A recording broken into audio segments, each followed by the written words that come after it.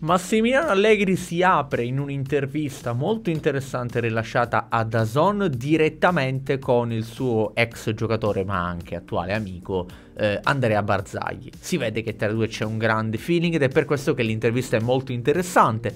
Oggi andiamola ad analizzare perché c'erano le cose interessanti, perché si parla di Vlaovic, di Pogba, ma anche qualche piccola stoccatina lanciata proprio a Paolo Di Bala c'ha un po' il resoconto. Tra l'altro, alcuni spezzoni li potete trovare su OneFootball. Come poter scaricare OneFootball in maniera del tutto gratuita? Semplicemente dal link metto qui sotto in descrizione. Dovete cliccare su questo link e automaticamente gratuita mentre avete questa app sul vostro cellulare. Inoltre, vi ricordo che per essere super aggiornati sul mondo del calciomercato, vi consiglio di iscrivervi perché arriveranno tanti contenuti a tema eh, mercato prossime, nei prossimi giorni. Quindi mi raccomando, iscrivetevi perché alcuni guardano i video senza essere iscritti, ma eh, per quale motivo iscrivetevi, è anche più facile poi ottenere l'arrivo dei nuovi video. E allora è un Allegri che viene confermato.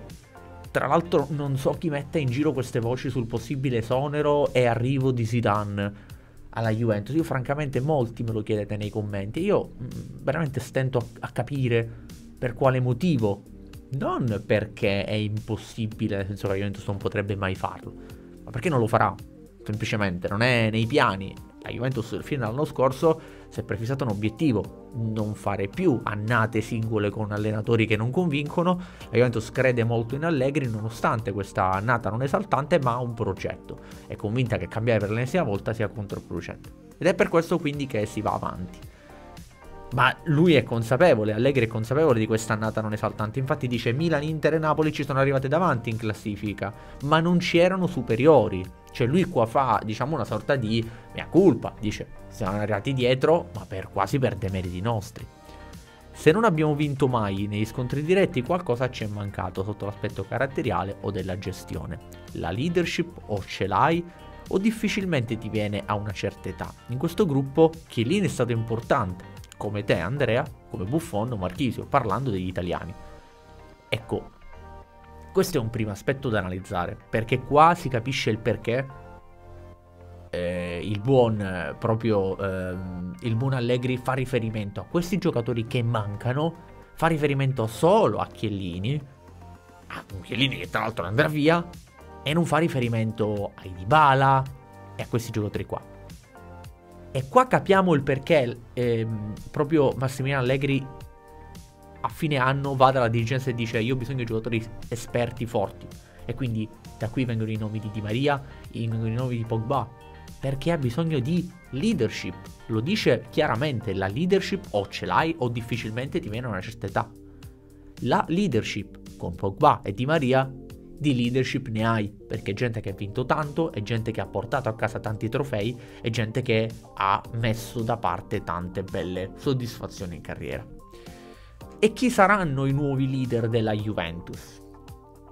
Per il futuro ce ne sono due. E non dice Vlaovic, perché molti direbbero c'è Vlaovic. Invece no, dice Delict e Locatelli.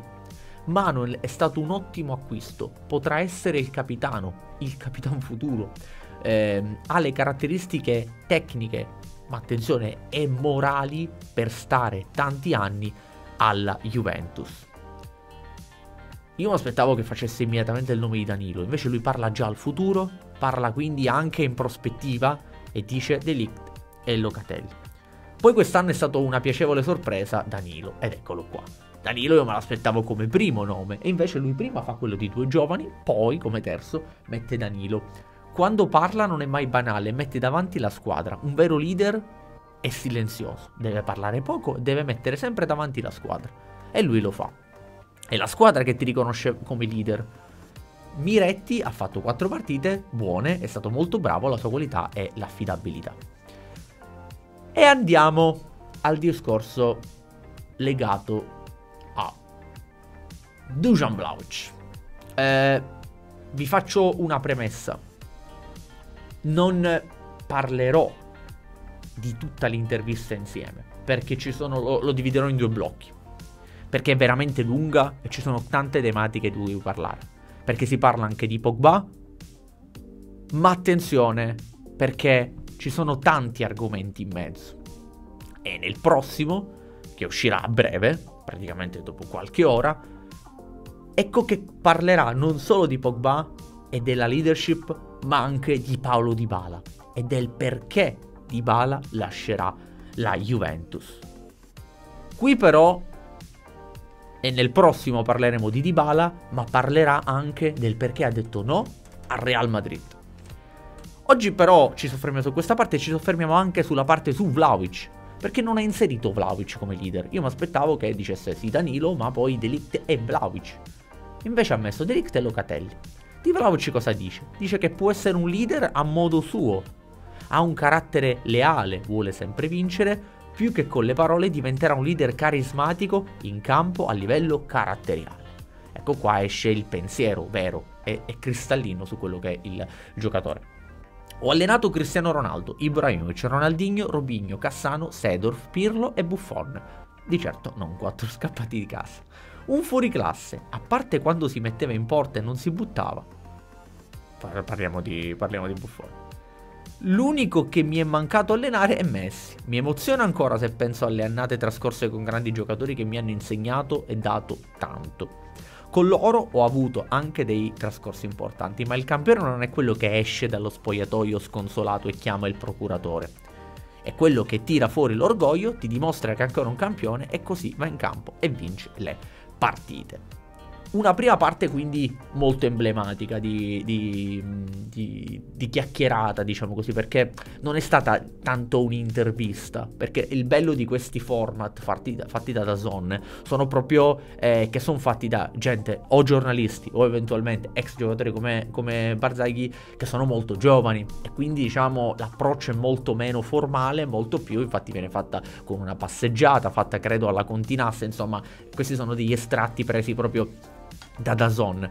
E quindi è una cosa molto, molto informale, però è molto bella perché vedi proprio l'autenticità. E il fatto che abbia indicato quei due giocatori, cioè Delict e Locatelli, come possibili eh, nuovi giocatori per il futuro è molto bello perché ci fa capire come la Juventus oltre alle abilità in campo va cercando sul mercato, e Delict e Locatelli sono due nomi da questo punto di vista, va cercando anche dei delle persone importanti, delle personalità importanti, con caratteristiche morali. Di Locatelli dice ha caratteristiche tecniche e morali per stare tanti anni alla Juve. E questo è vero, cioè Locatelli lo vediamo quando è in campo, non è lo sbruffoncello di 23 anni che pensa di essere già un fenomeno sembra già un ragazzo di 30 anni, sia fisicamente che anche caratterialmente, anche quando parla ai microfoni. Stessa cosa delicte. E questi sono aspetti importanti. Eh? La Juventus, eh, quando si parla di Juventus che non punta sui giovani, non è vero, ci punta sui giovani, ma i giovani devono essere forti. Cioè Allegri lo ha sempre detto, i giovani devono, essere, devono stare alla Juventus ma devono essere forti forti. Delict e Locatelli sono forti forti. Vlaovic è forte forte. Lo è anche eh, Federico Chiesa, di cui non si parla qui, ma anche lui a livello sia tecnico che caratteriale Beh, è un bel tipetto davvero. Cosa ne pensate di questa prima intervista? Io invito come sempre a supportarci iscrivervi al canale. Scrivetemi qui sotto la vostra e soprattutto tra poche ore uscirà la seconda parte dedicata a che cosa? A Pogba, alle parole di Allegri su Pogba e alle parole di Allegri sul perché ha detto no al Real Madrid spiegandolo per bene, al perché Di Balla lascerà la Juventus e a come la Juventus può tornare a vincere.